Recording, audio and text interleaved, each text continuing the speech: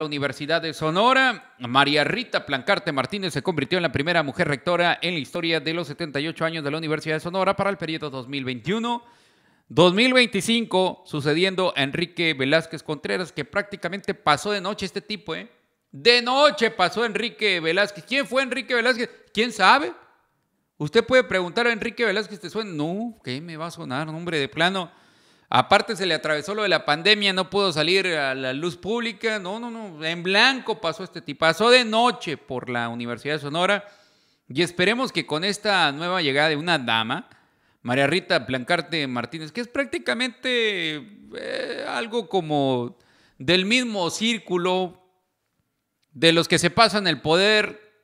Ahí no es como que la elección tan abierta como lo es en el Itson y ahí se tiran hasta con la cubeta. Yo creo que las elecciones en el Eaton se ponen más gruesas que las, las que vivimos aquí en, la población. ¿eh? Se ponen muy, muy gruesos ahí en el Eaton. Y ahí en la Unison, ¿no? ahí en la Unison como que serenan los puestos. ¿eh? Ah, ahora te toca a ti. Ah, bueno, ahora me va a tocar a mí. Y ahí se la van pasando. ¿eh?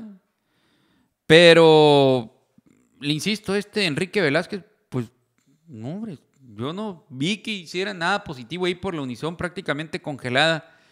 Y después de 78 años,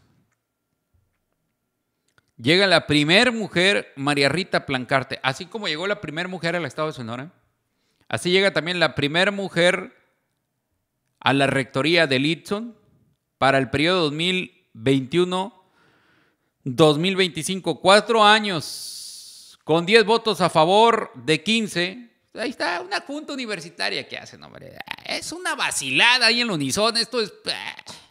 Por favor. O sea, ahí se van rolando. Y, ah, ¿quién sigue en la silla? Ah, tú sigues, ok. Y después, ah, tú, tú sigues. De hecho, por ahí hubo un recuento que nos hacía nuestro amigo eh, Jorge Morales. Desde enero él decía, no, la que sigue. Y así, pues prácticamente, así como lo platicó, así fue. Y así ha sido el Unison, pues. No, no, no se abre tanto, ¿no?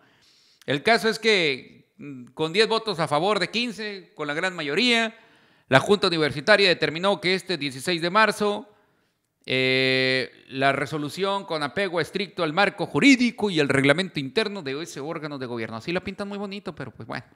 En la recta final del proceso, Plancarte Martínez eh, compitió con Joel Enríquez, Espejel Blanco y Ezequiel Rodríguez Jauregui, puestos a modo, favor.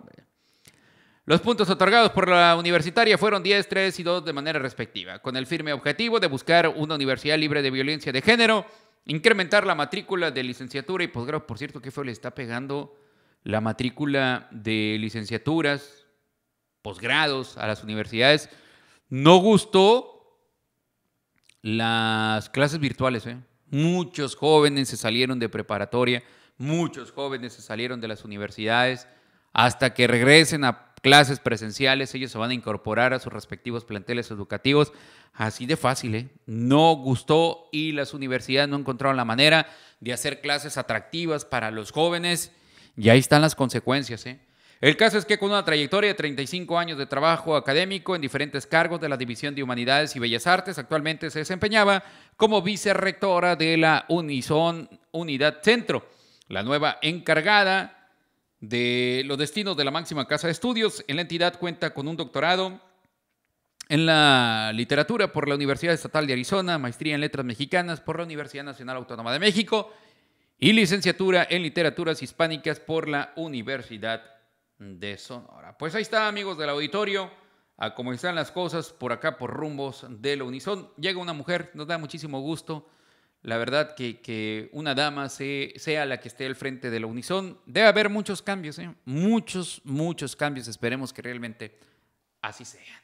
Más comentarios.